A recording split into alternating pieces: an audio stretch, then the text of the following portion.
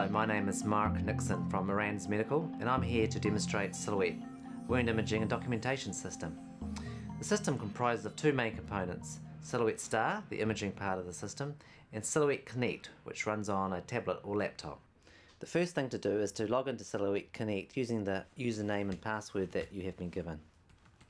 Once you have logged in, you see a list of patients that are currently under investigation. We'll select the first patient as that is the patient that we have here with us today. Reviewing the patient's details, we can see that there are three wounds that this patient has. We're now ready to start collecting the images and I'll press the Capture Images button. Once you have pressed the Capture Images button, the first thing that you might notice is that the laser lines come on. There are three laser lines that form a triangle shape. When you've moved the camera the right distance from the surface, it forms a star, and that's the distance at which the camera is in perfect focus. Now we are ready to image a wound. There are several things to keep in mind. Firstly, we need to be immediately above the wound so we're perpendicular to it. Now we need to move the range so that the triangle shape collapses into a star shape.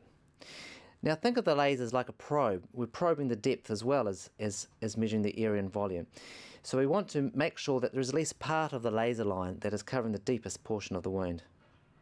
Finally, we need to hold the camera still as we squeeze the button and initiate the image capture sequence. Now we are ready to capture the images of the other wounds. As a beginner, you might find it easier to hold the camera in two hands. That way you can balance the bottom of the camera while you're squeezing the button against the other hand.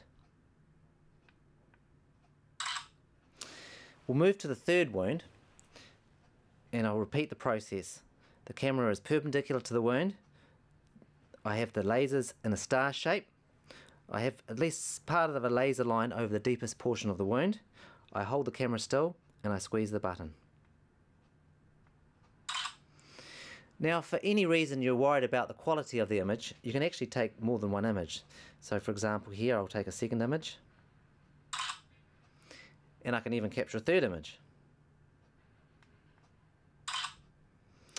Just to recap what we've been over, hold the camera perpendicular above the wound. Adjust the height of the camera so that the triangle shape collapses to a star.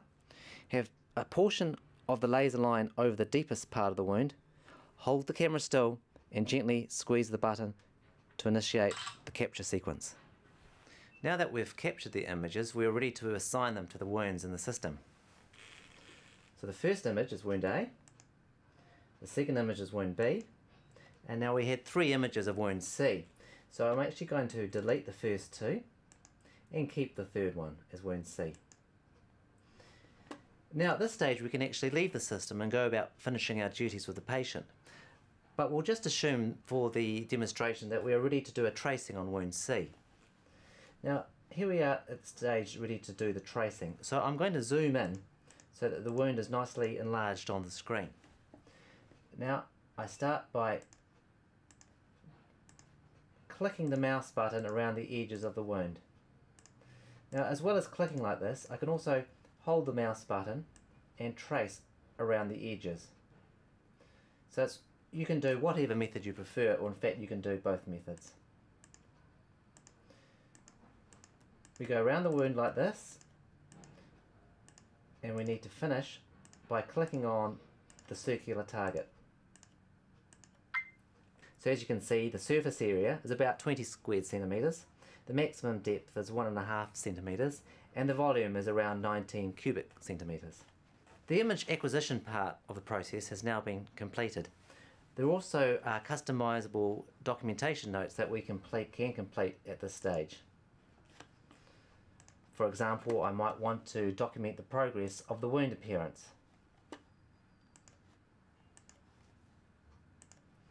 I might want to comment on the wound margins, the surrounding skin,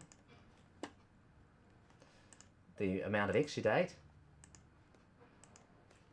and other features such as pain. So at this stage we can now see the wound has progressed and has actually been getting worse in this example here. At this stage we can create a PDF report which will summarise all the features of this wound. So as you can see it has the images, the graphs and the notes that we've collected. This can be printed out and stored if necessary. And that ends the imaging and documentation process.